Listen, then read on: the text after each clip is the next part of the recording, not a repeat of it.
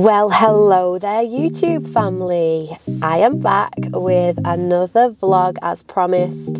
Um, I last left my previous vlog on weeks two and three of recovery. So if you haven't saw that video, then go back and watch that and just see all the things that I was getting up to on week two and three. Um, we are now on week six. So, this is a real sort of like staple point within uh, the recovery journey. You know, you, the first six weeks are pretty dull. Um, you are literally just learning to get back on your feet again. And today marks the day of six weeks post op, which just feels amazing to be at this point now in recovery. Um, so I just thought, yeah, let's do another vlog now. Let's vlog and I'll show you where I am up to, um, what my recovery is yeah, as always, I will share with you the ups and the downs. I will stay transparent. I will show you what physio exercises I have been doing. I will share with you any tips that I have found quite helpful. Um, yeah, so last time we linked up, I was, yeah, on week two and three. And if you remember, the consultant said that I could get rid of the leg brace, which was just amazing. I mean, I just absolutely loved that day when he said that I could get rid of that leg brace. Um, I could start bearing a little bit of weight into the operated leg, which is my left leg, left knee. And I was still on crutches. There was absolutely no way I could operate around the house or outside without those two crutches. Now, moving forward to six weeks, I have just now got rid of the last crutch. So I, I went down to two crutches by two and a half weeks. So the leg brace went two and a half weeks. We got the, the two crutches. Um, and then I would say at about week four, I was then down to one crutch. And yeah, this week, so the start, probably start of week five, I've just managed now to get rid of the last crutch. So I am crutchless.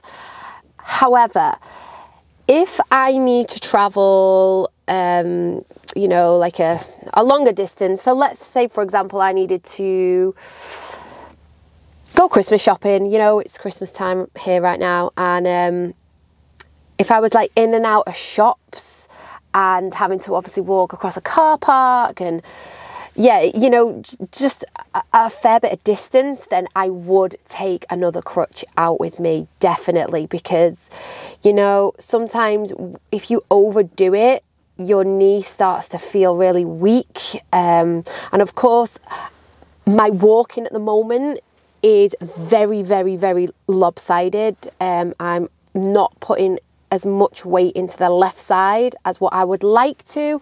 The reason for that is because my quads and my glutes on the left side has switched off and it's just trying to switch them back on again so that I can walk straight without a limp. I kind of walk like this, like a little dip. Um, but yeah, let's let's let's take you on this journey with me so the first thing I am now back doing is being able to walk the dog.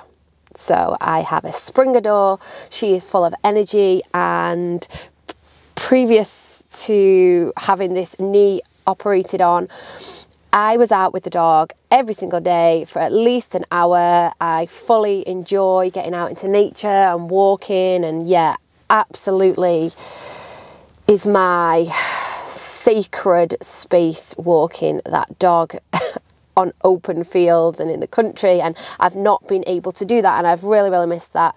But I am back now out on fields with the dog but I'm not walking the dog as such. Um, I will throw a ball for the dog so she can burst her energy out that way. But I will slowly walk around the field and just practice that sort of tapping my heel down, pushing into the big toe, tapping my heel down, pushing into the big toe, just to get that um, movement going back into my knee joint. looks like the ocean. So yeah, I just um, was told by the physio that I need to think about every step and think about putting your heel down first, so the left heel down, and then rolling into the big toe, putting the left heel down, roll into the big toe, because you kind of think you've got this crutch on all the time, um, crutch, leg brace, and still, and you just sort of like hobble into one side. So yeah, I use this time now to get out onto the field and practice that movement. Heel down, roll into the big toe. Um, so yeah, let's go. Let's go out onto the field. So yeah, here we have it.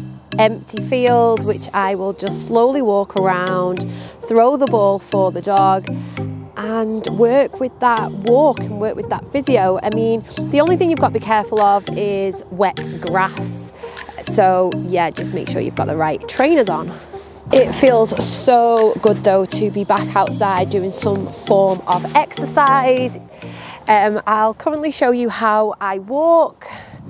So just going back to that physio, having to remember to bring this left heel down and roll into the big and then just turning back, so propping the heel down and rolling into the big toe.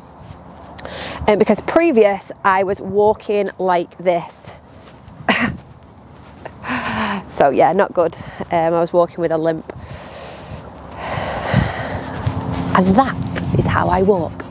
What I do find quite frustrating is the muscle wastage on my left leg as opposed to my right leg. I feel like it's half the size. Um, but yeah, you know, that'll, that'll come back in time. We just need to build some strength and some muscle. Um, yeah, so I'm going to finish this walk with the dog. So that is dog walk, or should I say dog stroll slash limp complete. And that was probably just short of half a mile. And I am used to walking the dog at least eight miles a day.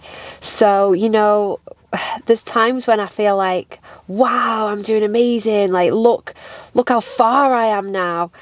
Which is right, I am. I'm I'm so far ahead than I was at week one, so six weeks on now but yeah, I'm still so far away, you know. So it's a bittersweet feeling that I seem to be having all the time and but yeah but just grateful of every step now i don't know whether you guys have ruptured your acl or torn your meniscus through a sport but most of the time you find that this has happened through a sporting injury.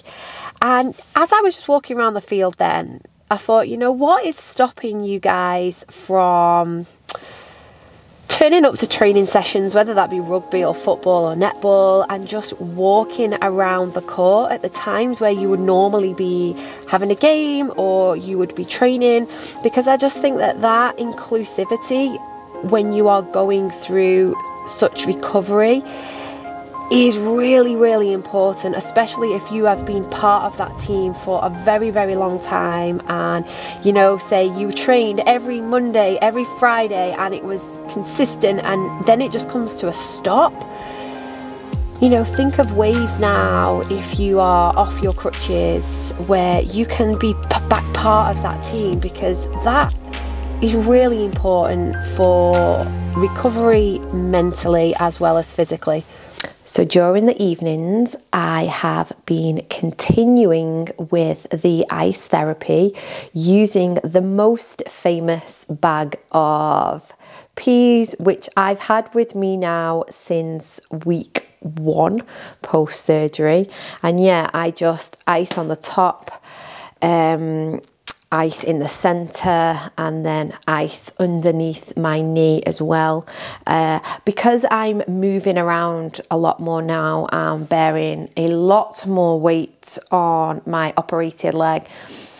It, it it is more swollen by the end of the day and it's really important now that I don't slip with that ice therapy because yeah like I said the more I'm walking the more swelling is going to happen. So yeah, just keeping on top of the ice therapy for now. I will also show you guys the scars and how they are healing uh, post-op. So yeah, six weeks. Let's have a little look. And if you can see, I don't know whether you can see that, the light. So there is one, right there uh, and then the keyhole. One there. And one there. And then a little tiny one just here at the top which you can't actually see but yeah. It's doing all right. I have also been using some rose hip oil on my scars just to help with some cell regeneration. I made sure that my scars were healed as in that you know they were closed they weren't open anymore before I started using any sort of oil treatment um, but yeah I'll, I'll, I'll show you how I apply that on my scars and you know I use this to massage around the knee as well because like I said, there's, there's still swelling there. And I just give myself a little massage around the knee, at the back of the knee, just to help promote um, lymph drainage and break down some of that swelling. So yeah, just remove the ice, grab the oil, and just a little squirt, and I'm applying quite a firm pressure. Just really just trying to massage that in. It's quite funny, round here and down the centre, I still haven't got full sensation back. So it does feel pretty numb still around here. I've actually got full sensation back here around the scar, but here down the centre, yeah, not, not quite there yet. But yeah, just massage that in. It's healing nicely. Uh, and then just apply a little bit more.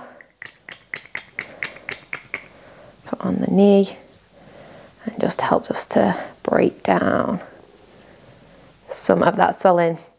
This helps as I am a masseuse as well.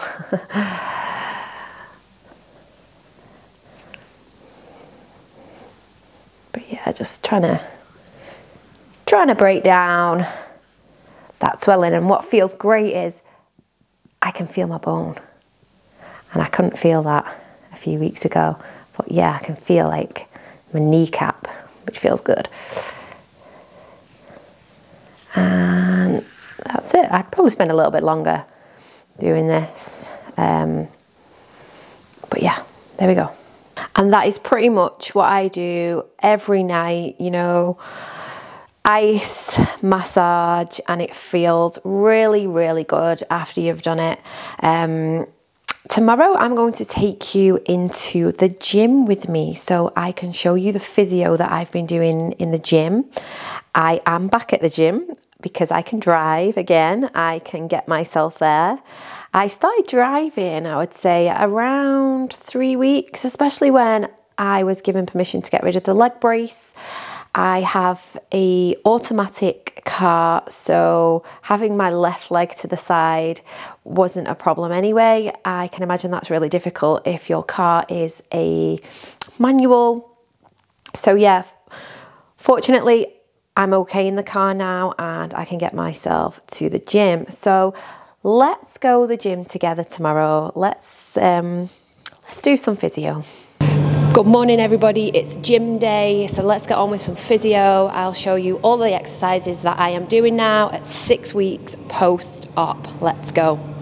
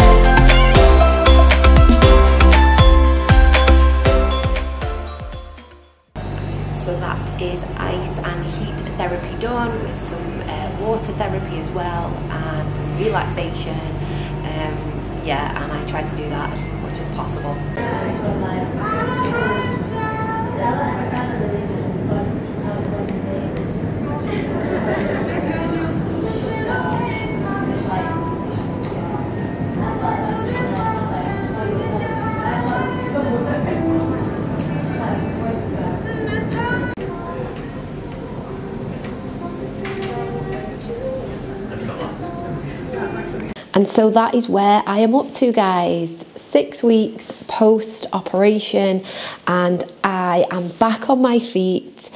I am without crutches now. I am without the leg brace. I am back driving. I am in the gym. I am doing my physio. I am swimming. I am walking, you know, short distances. So I feel good. I feel really, really good. And it's just really important for me now to always recognize how far I have come because, you know, it is only six weeks still. It is quite early. Yet I still have a very, very long way to go. Um, as you know, I am a yoga teacher, and today is the first day that I actually got back on my mat and I practiced a very little mini flow, which felt amazing. It wasn't fast and it was very, very mindful because there's still swelling there, there's still a little bit of pain there, and yeah, it's just making sure that I'm managing that movement and yeah, just, just looking after yourself, yeah? And so with that said and done now, I'm going to end this vlog here. I meet my physio every two weeks and we keep getting little extra exercises put onto the program. So I don't think I will probably vlog now until I'm maybe at about four months post-op. Um, just so that you can see that that big jump now because I feel as though I'm going to plateau a little bit now. I feel like my journey so far, it's had a few little dips, but it has been quite linear. I mean, like I said, I have had some dips. I explained on my first couple of vlogs uh, how I felt like those first few weeks were just up and down all the time. These past few weeks, I felt like there's been a lot of growth in the recovery journey. I just have a funny feeling now that we're going to plateau a little bit. I think we're going to plateau, and I think it'll be good for me now to vlog around three and a half months and to see if maybe I'm back doing some jogging, maybe. Um, yeah maybe I can get on that, you know, upright bike and be able to use the bike. And so I'm going to leave it here. I'm going to leave it here. Thank you so much for joining me on my journey. And if you have got any questions, if you want to leave a comment in the boxes below, then please do so. And if you haven't already, subscribing to small channels like this means the absolute world. And I should see you on the next one. Bye.